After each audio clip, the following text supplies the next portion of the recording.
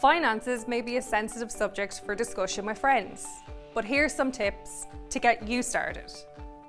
Use the F word, judgment free.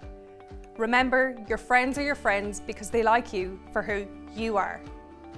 Don't be afraid to ask questions, whatever your financial concerns or thoughts. And if your friends don't know the answers, it can be an opportunity to learn something new together. Resist the temptation to compare your situation to theirs. You might feel like you are ahead or behind, but the truth is that everybody is different and has their own unique story. Want to talk finance? Visit the Financial Wellbeing Hub to learn more.